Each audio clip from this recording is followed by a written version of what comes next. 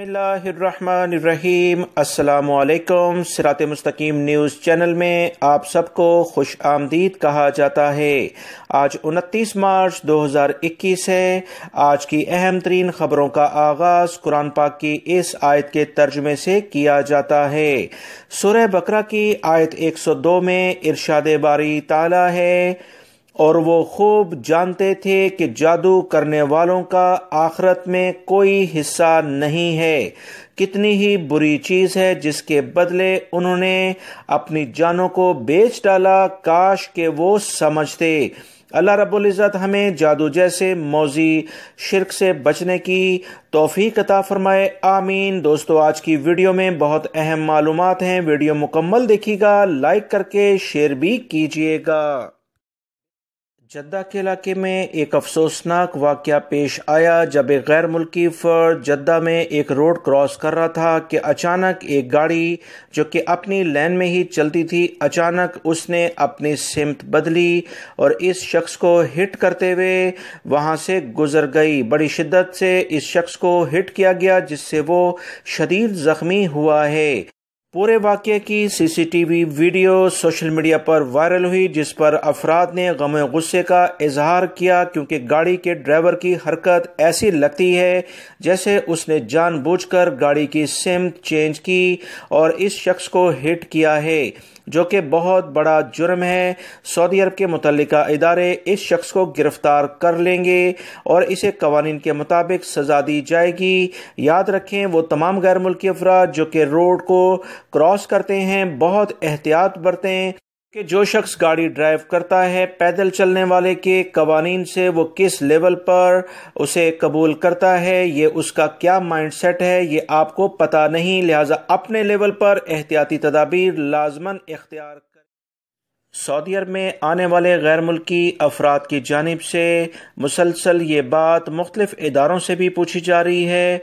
और सऊदी अरब में मेरे चैनल्स, जो अल्हम्दुलिल्लाह आप तमाम भाइयों की मदद के लिए मुझे बहुत खुशी है कि भरपूर तरीके से काम कर रहे हैं।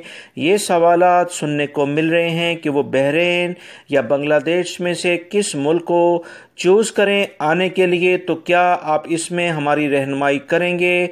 क्योंकि बहुत सारे गैर मुल्कियों ने कहा कि वो यहाँ से आना चाहते हैं। याद रखें दोस्तों, मैं आप तमाम भाइयों को जो बेहतर मशवरा होता है, वही देता हूँ। और मैंने कल भी आप तमाम हजरात से यही कहा था कि बेहतर है कि अपनी कंपनियों से रबता करें, उनके साथ माहौल को साजगार बनाएँ। मौजूदा हालात में अगर आप सफ़र ना करें तो बेहतर है। मुझे पता है कि आप लोगों के माली हालात अपने मुल्कों में अच्छे नहीं। किसी से कर्ज लेकर आप एजेंटों की जेबें भरेंगे और उसे, उसके बाद दूसरे मुल्कों से होते हुए सऊदी अरब आने की कोशिश करेंगे, जिसका दो से तीन फ़ीसद भी इम्कान नहीं। बहुत सारे अफराद ने सोशल मीडिया पर ऐसे अफराद के कुछ वीज़े, स्टैम्प वीज़े और वॉइस शेयर की, जिसके बाद आगे क्या हुआ कोई नहीं जानता। आप तमाम भाइयों को मैं यही मशवरा फिर से दूँगा कि आप जल्दबाजी ना करें, जल्दी का काम वैसे ही शैतान का काम होता है। एहतियात करें, अपना रुपया बचाएँ। अल्लाह रब्बुल इज़्ज़त ने अगर आपके लिए, अभी फैमिली के साथ रहने के लिए कुछ टाइम मखसूस किया है तो इसे गुजार लें। उसके बाद सऊदी अरब में इनशाला आप आ जाएँगे। यही रकम मैं फिर से कहता हूँ, जो आपने एजेंटों को देनी है, कंपनी की एचआर या जो भी कंसर्न आपके कफ़ील हैं, उनसे प्रोजेक्ट मैनेजर्स हैं, उनसे बात करें और अपनी रकम दे दें तो कंपनी को कोई एतराज़ नहीं होगा कि वो आपके वीज़े एक्सटेंड ना करें और आपको इनशाला इंटरनेशनल फ़्लाइट्स जैसे ही बहाल होती हैं, वो आपको सऊदी अरब में बुला लेंगे। सबसे आसान और बेहतर तरीका है। उम्मीद है कि बहुत जल्द, यानी कि रमज़ान के बाद इंटरनेशनल फ़्लाइट्स के खुलने के वाजिया इम्कान हैं। आप कोशिश करें तो ये मसले का एक आसान हरमैन कमेटी की इंतज़ामिया ने कहा है कि मस्जिद नबी सल्लल्लाहु अलैहि वसल्लम में रमज़ान के दौरान वबाई मर्ज कोरोना से निपटने के लिए मजीद हिफाजती इंतज़ाम का ऐलान किया गया है।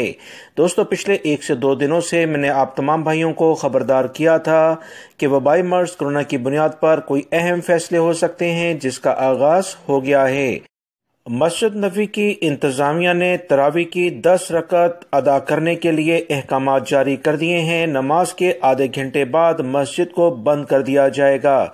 मस्जिद नबी की इंतज़ामिया ने कहा कि पंद्रह साल से कम उम्र के बच्चों को मस्जिद लाने की इजाज़त नहीं होगी, जबकि मस्जिद नबी के सहनों और इसके मुख्तफ अमारती हिस्सों में शहरी पैकेट तकसीम करने पर पाबंदी होगी और एहतकाफ भी मअतल रहेगा। इंतज़ामिया का मजीद कहना है कि मुतल इदारों के तावन और इश्तराक से रोज़ेदारों को इफ्तार पैकेट तकसीम कराए जाएँगे, जबकि नमाज़ के लिए नए मगरबी सहन इस्तेमाल किए जा सकते हैं। नमाजियों पर समाजी फासले, हिफाजती तदाबीर की मुकम्मल पाबंदी बरकरार होगी, रोज़ेदारों को इनफरादी तौर पर इफ्तार की इजाज़त होगी, इफ्तार खजूर और पानी तक महदूद रखा जाएगा। मस्जिद नबी के पार्किंग वाले हिस्से में गाड़ियाँ पार्क करने के बाद वहाँ से आने वाले अफराद को मौकफ, यानी पार्किंग एप्लीकेशन का लाजमी इस्तेमाल करना होगा। दोनों मुकदस मसाजिद की इंतजामिया ने कहा कि रमज़ान के दौरान तकरीबन पाँच हज़ार कारकुनों को ज़ायरीन की खिदमत पर मामूर किया गया है। ये ये सैनिटाइजिंग और मस्जिद की सफ़ाई का इंतज़ाम भी करेंगे। इंतजामिया का मजीद कहना है कि रमज़ान के दौरान नमाजियों और उम्र ज़ायरीन के इस्तबाल की तैयारियाँ मुकम्मल कर ली गई हैं। सऊदी महकमे ट्रैफ़िक ने एलामिया जारी करके ममलिकत में मौजूद तमाम सऊदी शहरी और गैर मुल्की ड्राइवर हजरात को खबरदार कर दिया है कि अगर वो रोड पर ड्राइविंग के दौरान एक लेन से दूसरी लेन में गाड़ी लेकर आते हैं तो अहम तरीन हदायत पर सख्ती से अमल करें। जो इन पर अमल नहीं करेगा 300 से 500 रियाल इसे जुर्माना किया जाएगा। तमाम की तमाम चीज़ें अब सीसीटीवी कैमरों के ज़रिए मॉनिटर की जाएँगी। ऐसी गाड़ियाँ जो कि इशारा बगैर इंडिकेटर दिए हुए एक लाइन से दूसरी लाइन में जाती हैं अक्सर बड़े हादसा का सबब बनती हैं। इशारा देने के साथ साथ आपको फिजिकली भी ये देखना होगा कि क्या आप अपनी लेन चेंज भी कर सकते हैं या कि नहीं, क्योंकि दूसरी गाड़ियाँ जो बराबर की लाइन में आ रही हैं या आगे पीछे आपकी गाड़ी के चल रही हैं, उसमें मुनासिब फासला होना चाहिए। सऊदी अरब में इस वक्त हादसा की एक बहुत बड़ी वजह, ये जो अहम पॉइंट्स मैंने दोस्तों, आप तमाम भाइयों से सऊदी महकमे ट्रैफ़िक की जानब से शेयर किए गए हैं, ज़िक्र किए हैं, इस पर अमल दरामद ना करने की बिना पर ही हो रहे हैं। जिस पर सऊदी महकमा ट्रैफ़िक ने अलर्ट जारी कर दिया है कि 300 से 500 रियाल सीसीटीवी कैमरों के ज़रिए मॉनिटर करते ही इन अफराद को कर दिए जाएँगे। सऊदी अरब के तमाम शहरों में ये कवानीन नाफिज कर दिए गए हैं। सऊदी अरब में जवाजात यानी महकमे पासपोर्ट की जानब से एलामिया जारी कर दिया गया है कि वो तमाम गैर मुल्की अफराद जो किसी भी वजह से अपने मुल्क खरूज नहाया यानी फाइनल एग्जिट जाना चाहते हैं इन्हें लाजमी तौर पर सऊदी अरब में, अगर इनके नाम कोई गाड़ी मलकियत में है, कोई बिजली का कनेक्शन, यानी कि बिजली का बिल इन्होंने अदा करना है, टेलीफोन कनेक्शन है या कोई और रकम वाजिबुल अदा है, लाजमी वो पहले अदा करनी होगी। इसके बगैर इनका खरूज नहाया यानी फाइनल वीज़ा नहीं लगेगा। लिहाजा गैर मुल्की अफराद को लाजमी चाहिए कि गाड़ी पहली फुर्सत में अपने नाम से हटाएँ। बाज़ अफराद अपनी पुरानी गाड़ी, जो चलने के काबिल नहीं होती, इसे कबाड़ के तौर पर फ़रोख्त कर देते हैं, जबकि यहाँ उर्फ़ आम में तशलह कहा जाता है। ऐसे अफराद अनजाने में ये गलती कर जाते हैं। कबाड़ में गाड़ी बेचते वक्त गाड़ी की नंबर प्लेट हासिल नहीं करते और इसे महकमा ट्रैफ़िक में जमा नहीं कराते, जिसकी बिना पर इनकी गाड़ी इनके रिकॉर्ड से कैंसिल नहीं होती और इनका खरोज नहाया, यानी फाइनल एग्जिट वीज़ा नहीं लगता। याद रखें, लाजमी तौर पर गाड़ी की नंबर प्लेट ट्रैफ़िक पुलिस के इदारे से कैंसिल कराई जाएगी। जब तक नंबर प्लेट्स कैंसिल नहीं कराई जाती, गाड़ी की मलकियत आपके नाम पर बरकरार रहती है और इस पर आयद सालाना फ़ीस भी चढ़ती जाएगी। जो गाड़ी की मलकियती कार्ड इस्तेमाल में दर्ज रहती है। मलकियती कार्ड और नंबर प्लेट को अपने नाम से कैंसिल कराने के लिए तशले से हासिल करदा, फ़रोख्त का मुसदा रसीद के साथ, ट्रैफ़िक पुलिस से नंबर प्लेट्स के साथ रजू करना चाहिए, जहाँ नंबर प्लेट जमा कराने के बाद गाड़ी को अपने नाम से हटाया जा सकता है। यही मामला टेलीफोन कनेक्शन का भी होता है। अगर किसी ने अपने नाम से घर में टेलीफोन लगवाया हुआ है तो उसे लाजमन कैंसिल कराएँ। जब तक टेलीफोन कंपनी को बकाया जात अदा नहीं किए जाते और कैंसिल कराने की एप्लीकेशन फाइनल नहीं की जाती, आपका फाइनल एग्जिट नहीं लगेगा। सऊदी महकमे पासपोर्ट ने कहा कि फैमिली फ़ीस, यानी फैमिली के अकामों पर जो टैक्स सऊदी अरब में फ़ी फर्द के लिहाज से 400 रियाल पर मंथ के लिहाज से लिया जाता है, अगर इसे कोई भी गैर मुल्की शख्स जमा करवा देता है तो उसे उस सूरत में वापस नहीं लिया जा सकता अगर अकामे तजदीद हो चुके हों। याद रखें, सऊदी अरब में अकाम तजदीद करने से पहले कोई भी फ़ीस अगर चाहें तो फैमिली के लिहाज से वापस वापस ली जा सकती है। फ़ी फर्द फैमिली मेंबर के लिहाज से जो फ़ीस चार सौ रियाल हर महीने गैर मुल्की अफराद अदा करते हैं, इसी बुनियाद पर सऊदी अरब में मुख्तलिफ़ अफराद अब दोबारा से अपनी फैमिलीज़ को अपने मुल्कों में वापस भिजवाना शुरू हो चुके हैं। बहुत सारे अफराद ने अपनी फैमिली को फाइनल एग्जिट भी भेजा है, क्योंकि यहाँ पर रोज़गार और उसके बाद वबाई मर्ज कोरोना से मुतल जो भी इस वक्त सूरत हाल है इसी बुनियाद पर गैर मुल्की अफराद भी मुश्किल का शिकार हैं, लिहाजा फैमिलीज़ को फाइनल एग्जिट भेज रहे हैं। सऊदी अरब में डॉक्टर असुदेश जो कि चेयरमैन है, हरमैन कमेटी के, उनकी जानब से कहा गया है कि मुकदस मसाजिद के लिए रमज़ान के मुतालिक अहम ऑपरेशनल प्रोग्राम तरतीब दे दिया गया है। इस प्रोग्राम के तहत इज्तमाही इफ्तार, एतकाफ पर पाबंदी लगा दी गई है। मताफ के सहन का एक हिस्सा उम्र जारीन के लिए खास होगा। के मसदुलहराम में पाँच मसल्ले होंगे। मशरकी सहन में भी नमाज़ की सफ़ें कायम की जाएँगी। याद रहे, हरमैन कमेटी के चेयरमैन की जानब से एलामिया जारी हो चुका है कि इस साल इज्तमाही इफ्तार और एतकाफ दोनों मुकदस मसाजिद में नहीं होगा।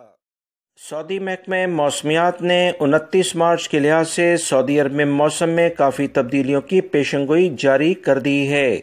सऊदी महकमे मौसमियात के एलामी के मुताबिक जजान, असीर, बाहा के इलाकों में तेज़ हवाएँ चलने का इम्कान है। इसी का सिलसिला मक्तुलमकरमा तक फैल जाएगा, जिससे गर्द गुबार का तूफ़ान उठ सकता है। गर्द आलूद हवाओं से हद नज़र महदूद हो जाएगी। हवाओं से रियाद और अलशरकिया रीजन के इलाके असीर, बाहा मक्तुलमकरमा मदीना मुनवरा तबूक भी मुतासर होंगे। सऊदी महकमे मौसमियात की जानब से जारी बयान में मजीद कहा गया है कि तेज़ हवाओं से तबूक, मदीना मुनवरा मक्तुलमकरमा और मशरकी रीजन के साहली इलाके भी मुतासर होंगे। तमाम लोग एहतियाती तदाबीर पर सख्ती से अमल करें, हाईवेज़ पर ड्राइविंग करते हुए बहुत एहतियात करें, क्योंकि बड़े हादसा गर्द गुबार के तूफ़ान में अक्सर रोनमा सऊदी वजारत इस्लामी अमूर ने वबाई मर्ज कोरोना के केसेस सामने आने के बाद कुछ मसाजिद को आर्जी तौर पर बंद किया है। 49 दिनों में सऊदी अरब में मसाजिद जो बंद की गई, जो कि आर्जी बंदिश थी, तीन सौ बयासी मसाजिद रिकॉर्ड पर आई हैं, तीन सौ तिहत्तर मसाजिद को दोबारा से अल्हम्दुलिल्लाह सैनिटाइजिंग और सफ़ाई सुथराई करने के बाद मुकम्मल तौर पर बहाल भी कर दिया गया है। सऊदी वजारत इस्लामी अमूर का कहना है कि ममलिकत में सैनिटाइजिंग और हिफ्सा सेहत के इंतज़ाम के बाद इस वक्त सऊदी अरब में तकरीबन तमाम रीजन में ही ये वाक़ात रोनमा आए, जहाँ वबाई मर्ज कोरोना के केसेस सामने आए हैं। वजारत इस्लामी अमूर ने तफ्तीशी टीमें बाकायदा तश्कील दे रखी हैं। ऐसे अफराद जो एहतियाती तदाबीर पर अमल दरामद नहीं करते, इनके खिलाफ भी कार्रवाइयाँ भी होती हैं। जो भी मुंतजमीन मसाजिद के हैं, इन्हें भी लाजमन एहतियाती तदाबीर अवाम में उजागर करने के लिए कहा जाता है कि वो इन्हें मुतला करें कि इनकी सेहत कितनी इम्पोर्टेंट है। कहीं पर भी खिलाफ वर्जी देखें, वन नाइन डबल थ्री जो इस्लामी अमूर के मुतल इदारे का हेल्पिंग नंबर है उस पर कंप्लेन कर सकते हैं।